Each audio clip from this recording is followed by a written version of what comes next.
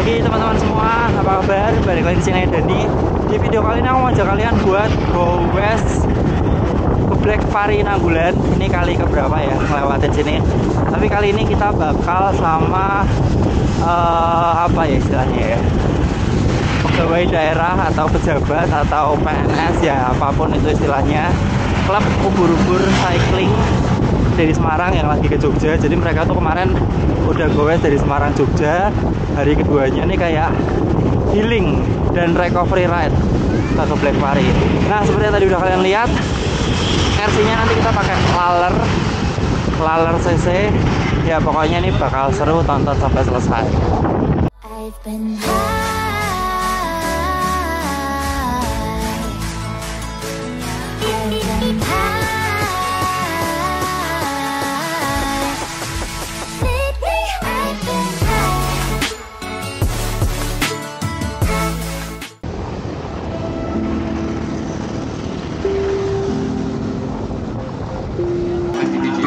Selamat pagi. Selamat pagi lo. Ini hari ini Halo pagi. dikawal ya ini ya. Kasih rute yang jauh. Ya. Pagi Mas Doni. Selamat pagi Mas. Mas Doni harusnya ikut ya.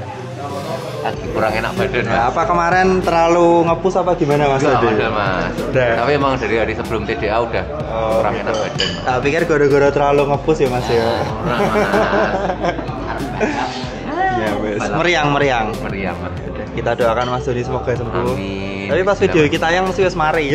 Amin. eh hari ini ke mana Mas? Nanggulan. Nanggulan ya. Karena Nanggulan, Ancol, terus nanti ke Jamun Desa. Itu mas. Iki wes wayahe ijo. Sawah. Belum belum. Belum. Kuning Mas Yan. Mau ditanam. Tandur. Waduh, ya wes lah. Dua bulan lagi harusnya. Dua bulan lagi sih lagi. Heeh. Kita ngomong ke Pak Yudi.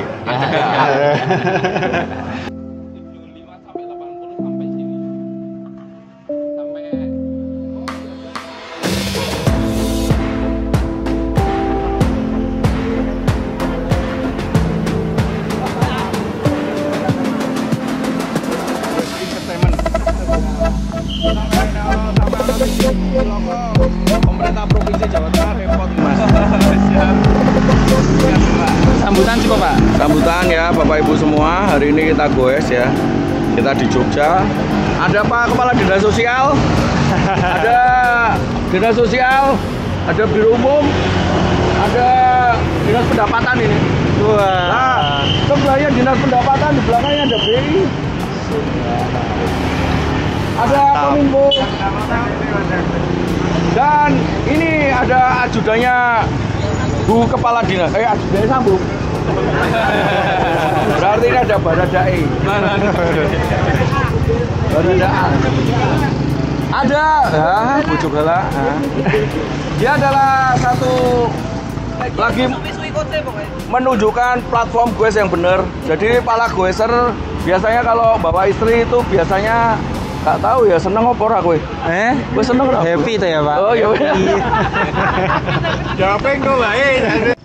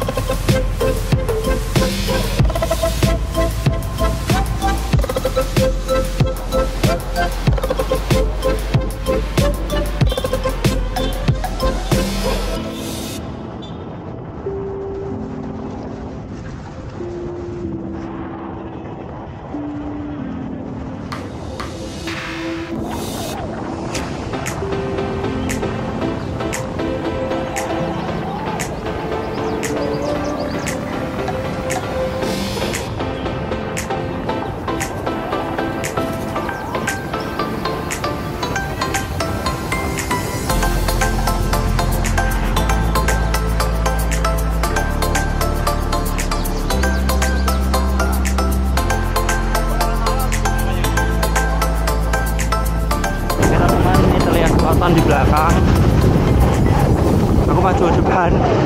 Di depan ini ada Marshall dan videografer yang bantuin.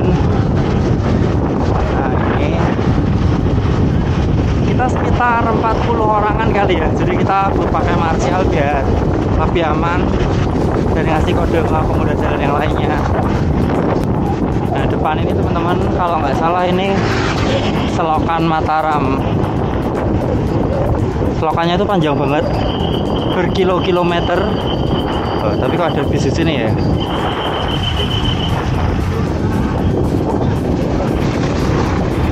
Ada apa ini? Harusnya ini banyak banget grup sepeda karena ini satu hari setelah TDA nah ini teman-teman jersey-nya warnanya itu terinspirasi dari sepeda ini first like ya ini punyanya Pak Yudi punyanya Ayu juga warnanya kayak gini mantap sedep ya Pak ya Enak. syahdu ya Pak Ya, syahdu enak.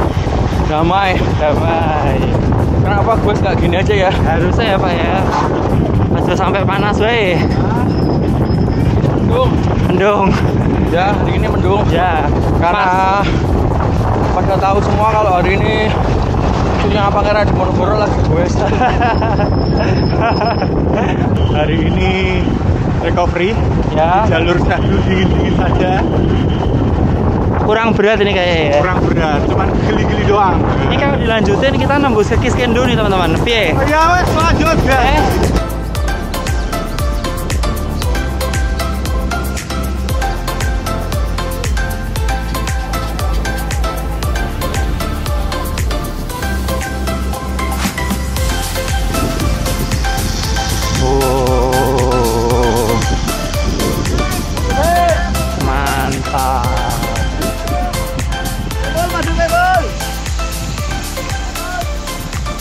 Terus ini.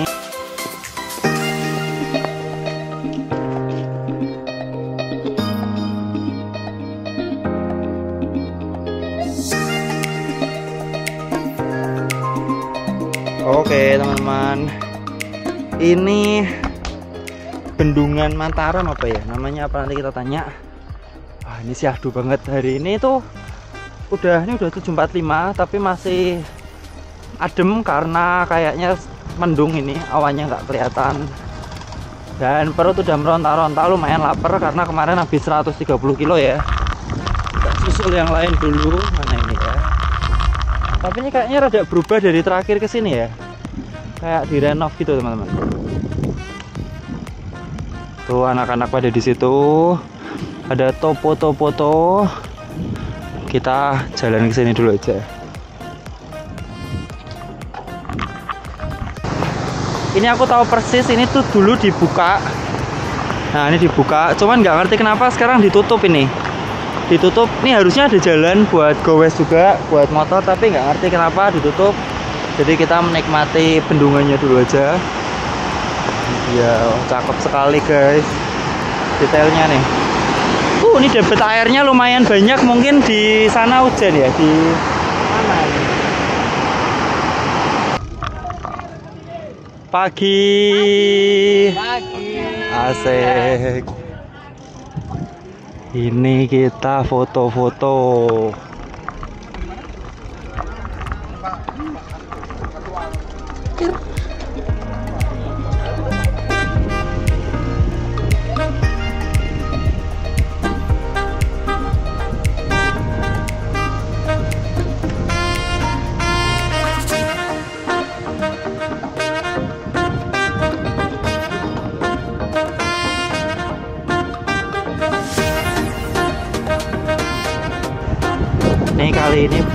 dimanjakan teman-teman menyusuri selokan tuh udah kayak sekitar 10 kiloan nggak bisa habis.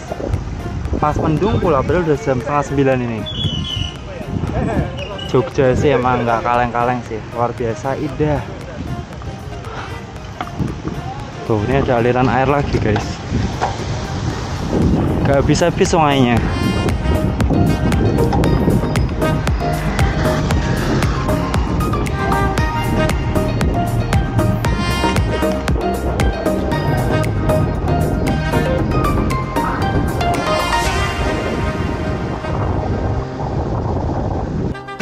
teman-teman, kita ada di jembatan Talang Bowong. Ini tuh ada di susuran Sungai Mataram. Nah, terus di sini tuh banyak warung-warung berjejeran. Orang yang pada foto-foto, pada nongkrong-nongkrong tuh pada ke sini. Dan yang unik di sini tuh ada makanan kearifan lokal. Nah ini kita tanya, Mbak, masih dengan pergi Mbak? Wah. Ini mbaknya yang jual, Mbak Sinten Mbak? Tri Utami. Mbak Tri, Mbak Tri. Ini tadi kan jelasin ini apa nih Mbak? Getuk. Gatot. Ini arem-arem ya. Arem-arem sudah biasa. Nah, terus ini mie Jogja, teman-teman. Mie Jogja tuh warnanya kayak pucat gitu ya. Ajar Pak Nur. Pakai sambal. Pakai sambal. Ini apa nih, Mbak? Geblek itu. Geblek itu dari singkong, olahan singkong ya. Ini Mie. oh mie tadi ya. Ini tape. Tape ya. Tape hijau apa putih? Tape putih. Putih. Nah, kita makan ini aja, guys. Boten. Lokan Mataram itu banyak yang belum ditanam padinya atau habis dipanen ya nggak paham. Di sini hijau guys. Wah. Syahdu ya Pak ya. Luar biasa. Top Pak. Jogja banget. Nah, ini ada yang lagi manen. Tuh sawahnya.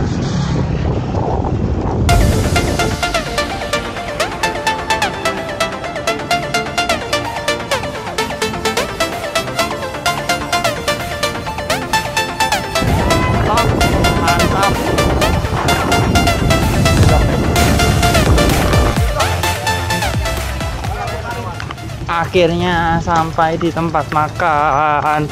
Bagaimana Pak? Aduh, laparnya terobati. Laparnya terobati. Tadi muter-muter sampai mumet rak karuan. Awalnya si adu si adu, akhirnya ngeluh-ngeluh. Ngeluh-ngeluh. Itu luar biasa tapi. Sudah dapat 70 kiloan nih kita teman-teman. Alhamdulillah. Kita makan dulu, let's go. Oke Besti, ikan goreng. Dibuka ya. Buka Besti. Ah, Samun cuci tangan Jos. Nila ini sepertinya nila merah. Ada apa lagi Besti? Ini Ayam. Rica, Rica. Ayam rica-rica. Semur-semur. Semur ayam. ayam. Mie. Waduh seledrina kayak ampun. Kangkung. Heeh, dan buah. Pamul? Siap. Aman. Aman drum keringetan kok ini wis. Ora ono keringete. Mana ya? 12 ke Semarang mau piye? Eh, tapi sesuk.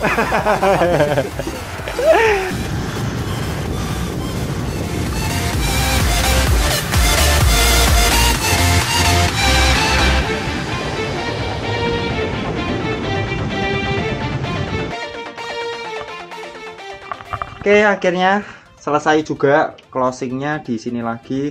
Tadi totalnya 85 kilo teman-teman muter-muter ke Black Pari, Nanggulan dan Selokan Mataram dan apalah aku nggak paham, nggak apal. Jadi kalau kalian ke Jogja itu salah satu rute yang wajib dikunjungi, wajib didatangin apalagi kalau pas cuacanya enak, mendung tuh kayak tadi 80 kilo nggak kerasa. Mungkin rada bosen karena tadi speednya wiri-wir. Kalau kenceng mungkin 80 kilo tuh bener-bener nggak kerasa kayak nggak ada 3 jam teman-teman. Oke mungkin sekian kali ini. Terima kasih buat kalian yang udah nonton. Pak Yudi terima kasih udah ajak aku dan istri. Next time ditunggu gowes yang lebih perih dan lebih banyak makannya. Oke sampai jumpa di video berikutnya. Tetap sehat dan tetap semangat.